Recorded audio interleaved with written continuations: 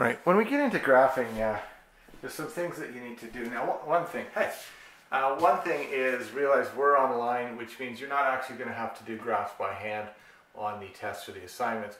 But there is some graphing in the uh, program that you'll do that's coming up for uh, the homework or for the assignment uh, that leads you to it. But some things you, that I still want you to understand about graphing is that this is the origin and it's labeled with a zero in that corner. Okay, so whenever you're doing a graph by hand, it'll be labeled down in that, that part of the origin. That's where the x-axis and the y-axis cross. So the x-axis is the horizontal axis, and we label it with an x. Very creative, us math people. The y-axis represents the vertical axis, and we label it with a y. I know, super creative, okay? So those are the things that are important. It's also important to show your uh, grid, your numbers. So if I say this is 1, and this is 2, and this is 3, and if you have graph paper, you have the lines, which means you still number all along the lines. Okay, same thing going up, 1, 2, 3, 4. I mean, bigger graphs might go to 50 or whatever, and you could count by fives, for example. Uh, but it's important to label these so that we know what the scale is. Because what if this goes 1, 2, 3, 4, and this goes 5, 10, 15, 20? We need to know that. And we'll just finish that up. Okay. And again, I know you're not going to be graphing by hand in this course, but it's important to know uh, the x, the numbers on the x-axis go below the axis, and the numbers on the y-axis go to the left side of the y-axis. Okay, and you'll see that uh, on the screen, some things to remember, right? But that's how you set up the grid, right? Why did I use this here previously? Something like y equals uh, 3x plus 2. If you remember that from the previous slide, okay? And remember I substituted in a 4 and I got 14, right? Well, that's because you can substitute in whatever you'd like. And we're going to build something called a table of values that you're going to see. But think of it this way, x and y. I'm going to do one right here. So if x is negative 2, or 0, or 2, okay, we'll see what we get. Uh, that might get a little big, because I've only gone to 4 in each direction.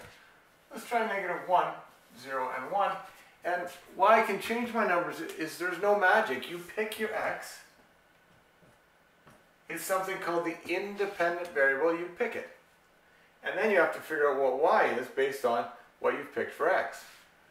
So if I pick negative 1 for x, I have to do 3 times negative 1, which is negative 3, plus 2, and I got negative 1 for y. That's a coincidence that they're both negative 1. If I pick 0 for x, 3 times 0 is 0, and 0 plus 2 is 2. And if I picked 1 for x, 3 times x is 3, plus 2 is 5. Right? So these become points that we can graph. Uh, let's get, well, we'll use red, why not? So negative 1 on the x is here, and negative 1 on the y is here, and you just kind of go like this and like this, and wherever they line up is a point.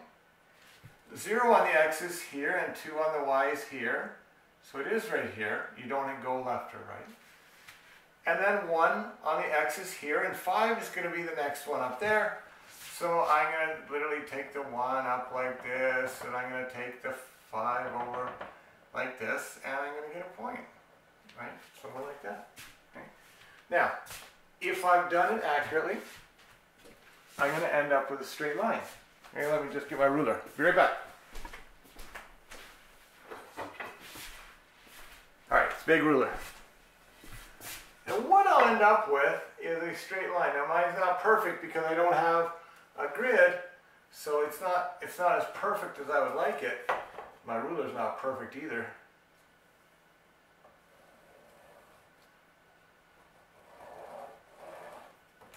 Why is my ruler perfect? Well, to be honest, I left my ruler upstairs, so I've got a stick instead of going up. Okay? But then I, I line it up and see it's, it's a straight line. So I've done it correctly. I put arrows on the end. Okay, I've got a straight line and I've built a graph. So remembering a little, uh, if, if you like to use little words, the word graph helps you out here. And you'll see on the chart, right? You know, grid lines, use yourself a ruler, right? Make sure you label your axis, plot your points, right? All that stuff. So I'll let you look at it for a second. All right. The one last thing that you would do if you were completing this by hand, I would actually state that this is negative 1, negative 1. This is 0 and 2. And this is 1 and 5. Those in. Okay? So what you've done is you've taken an equation and turned it into the picture of a graph. Okay? You'll see more of it on the slides as we go, but that's kind of a full layout for you. See you next slide.